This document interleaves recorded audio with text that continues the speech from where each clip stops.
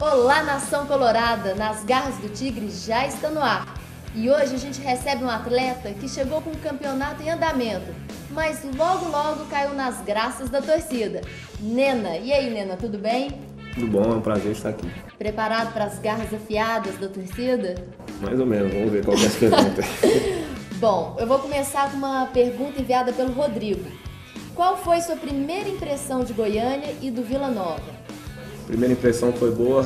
Acho que quando convidaram para vir para cá, fiquei feliz. Cheguei aqui em Goiânia, fui bem recebido e graças a Deus estamos aqui no Vila hoje. O próprio Rodrigo pergunta se você já foi artilheiro de alguma competição.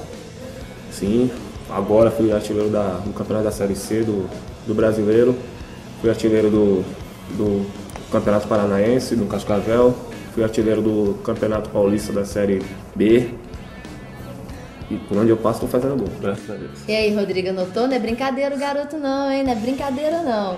Bom, agora eu vou tentar falar o nome certo aqui, o Galahad. Não sei. Pergunta aqui, Nena, com pouco tempo que você jogou no Vila, qual ponto você acha que o técnico Zé Roberto deve incentivar e treinar para que a bola pare de sofrer tanto para entrar no gol? Nós vem, nós vem trabalhando muito finalização, acho que o professor Zé Roberto vem trabalhando muito isso daí. Então nós estamos trabalhando forte para que a bola comece a entrar e dê mais alegria ainda para a torcida do Vila. É, falando na torcida, Paçoca e Patrícia. Nena, mesmo com a derrota, a torcida sempre gritava seu nome. Você, de alguma forma, já percebeu quanto a torcida do Vila está carente de ídolos, títulos e, quem sabe, uma boa vitória? Vai. Boa vitória a gente já, já começou a mudar isso aí, né, Nena? Sim, com certeza. Acho que já três vitórias seguidas aqui. Então, mas isso daí é fruto do trabalho, né? Acho que a torcida começa a gritar o nome porque vê que o, os jogadores estão correndo, né? E eu não sou diferente. Acho que eu corro até os 95 minutos. Se for para dar carrinho de cabeça, eu vou dar. Então, acho que daí é fruto do trabalho. Então, a torcida está vendo que eu estou me esforçando mais. Eu acho que você já falou um pouquinho sobre isso, mas eu vou colocar aqui a pergunta da Ellen mesmo assim. Como você se sente sendo considerado hoje pela torcida um dos melhores jogadores do Vila Nova e quais suas expectativas perante a atual campanha do time? É, falou, um dos melhores eu não sei se é, né? Mas para ela deve, deve ser, né? Então acho que eu fico feliz, né? Venho trabalhando, então vou continuar trabalhando ainda para continuar sendo isso daí. Para ela você mesmo, que ela acrescentou que eu sou sua fã. Então, então fico feliz mais uma vez. Ah, então, mas é o fruto do, do trabalho. Então nós vamos trabalhar sempre para tirar o, o Vila da situação e botar ainda mais em cima aí.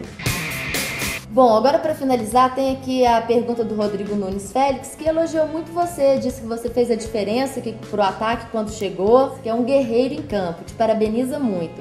E ele pergunta: "Você fica para 2010, Nena?"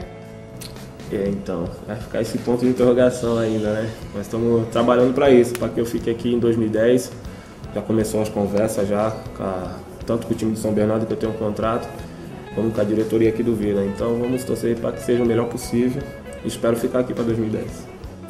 Bom, é isso aí, pessoal. Eu espero que vocês tenham gostado muito do programa de hoje.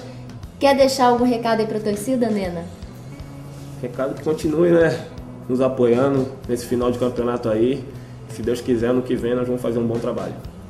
Muito obrigada pela sua participação. É isso aí, galera. Até o próximo nas garras do Tigre. Tchau, tchau.